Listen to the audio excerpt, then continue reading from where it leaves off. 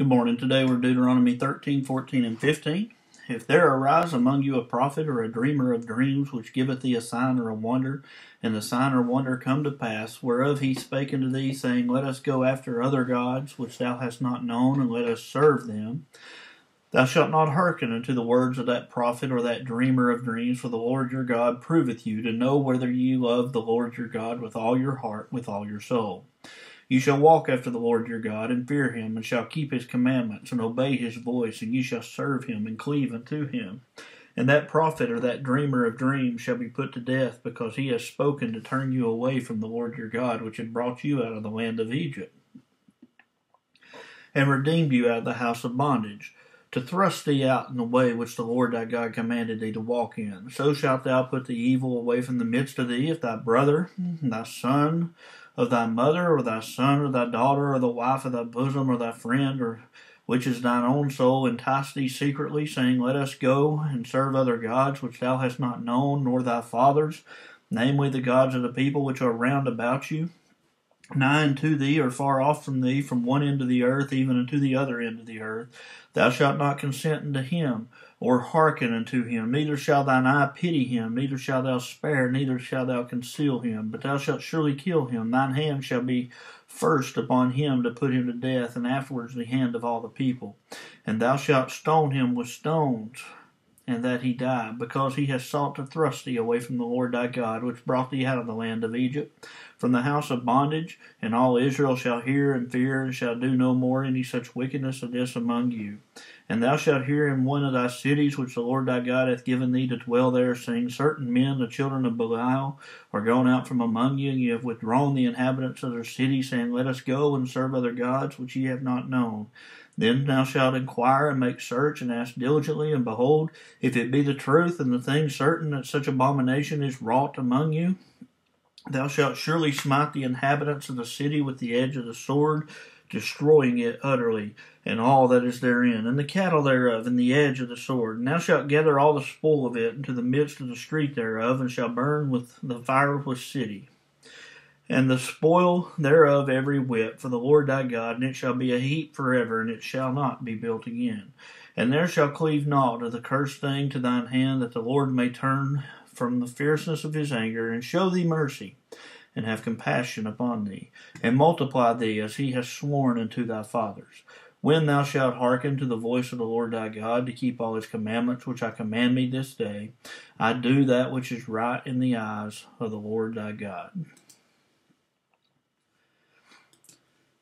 Deuteronomy 14, You are the children of the Lord your God. You shall not cut yourselves, nor make any baldness between your eyes for the dead, for thou art an holy people unto the Lord thy God. And the Lord hath chosen thee to be a peculiar people unto himself, above all nations that are upon the earth. Thou shalt not eat any abominable thing, and these are the beasts which ye shall eat the ox, the sheep, and the goat, the hart, the roebuck, the fallow deer, the wild goat, the pygarg, the wild ox, and the chamois, and every beast that parteth the hoof, that cleaveth the cleft into two claws, and that cheweth the cud among the beasts, that shall ye eat. Nevertheless, these shall ye not eat of them that chew the cud, or them that divide the cloven hoof the camel, the hare, the coney, for they chew the cud, but divide not the hoof, and therefore they are unclean to you. And the swine, because it divideth the hoof, yet cheweth not the cud, it is unclean to you. Ye shall not eat of their flesh, nor touch their dead carcass.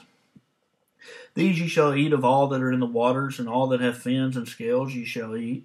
And whatsoever hath not fins and scales you may not eat; it is unclean to you. Of all the birds ye shall eat, but these are the which that these are they of which ye shall not eat: the eagle, the ostrich, the osprey, the glede, the kite, the vulture after his kind, and every raven after his kind and the owl and the nighthawk, the cuckoo, and the hawk after his kind, the little owl, the great owl, the swan, the pelican, the gier eagle, and the cormorant, and the stork, and the heron after her kind, and the lapwing, and the bat. Everything that creepeth, every and every creeping thing that flieth is unclean unto you, and they shall not be eaten. But of all the clean fowls you may eat. You shall not eat of anything that dieth of itself. Thou shalt give it to the stranger that is in thy gates, that he may eat it. Or thou mayest sell it to an alien. For thou art a holy people to the Lord thy God. Thou shalt not see the kid in his mother's milk. Thou shalt truly tithe all the increase of thy seed that the field bringeth forth year by year. And thou shalt eat before the Lord thy God in the place which he shall choose to place his name there, the tithe of thy corn, of thy wine, and thine oil, and the firstlings of thy herd and thy flocks, that thou mayest learn to fear the Lord thy God always.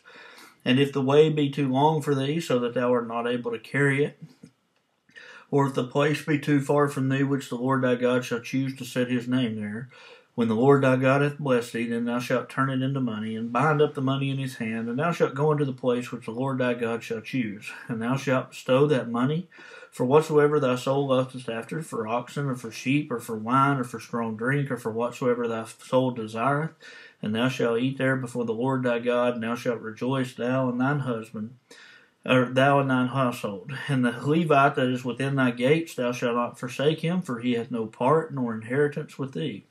At the end of three years, thou shalt bring forth all thine all the tithe of thine increase the same year, and shall lay it up within thy gates. And the Levite, because he hath no part or inheritance with thee, and the stranger, and the fatherless, and the widow, which are in thy gates, shall come and shall eat and be satisfied. That the Lord thy God may bless thee in all the work of thine hand which thou doest.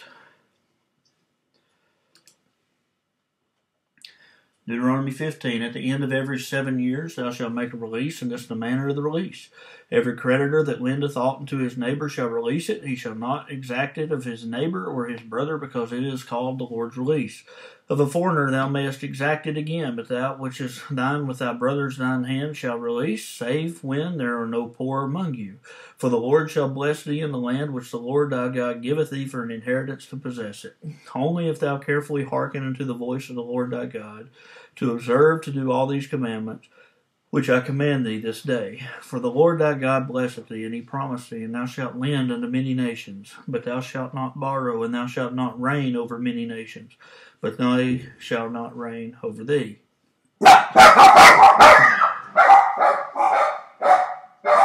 Sorry about that.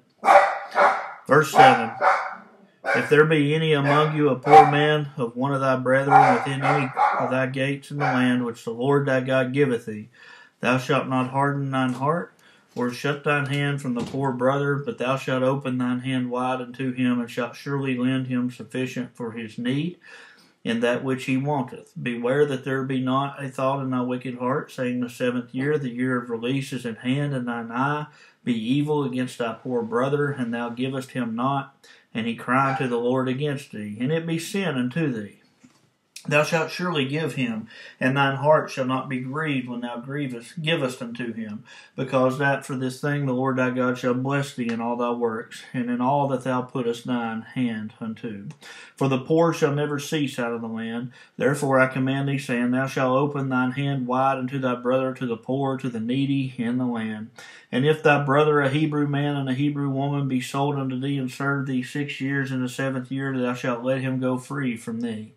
And when thou sendest him out free from thee, and thou shalt not let him go away empty, thou shalt furnish him liberally out of thy flock, and out of thy floor, and out of thy winepress, wherewith the Lord thy God hath blessed thee, that thou shalt give him. And thou shalt remember that wast a bondsman in the land of Egypt, and the Lord thy God redeemed me. Therefore I command thee this thing today.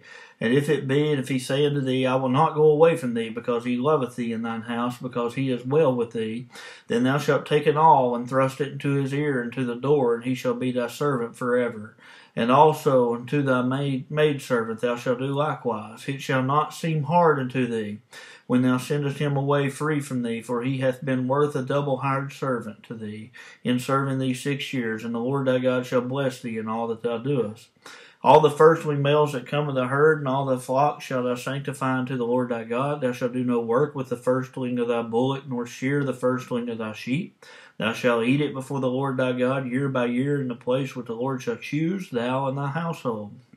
And if there be any blemish therein, as if it be lame or blind or have any ill blemish, thou shalt not sacrifice it to the Lord thy God. Thou shalt eat it within thy gates. The unclean and the clean person shall eat it alike, as the roebuck and as the hart. Only thou shalt not eat the blood thereof. Thou shalt pour it upon the ground as water.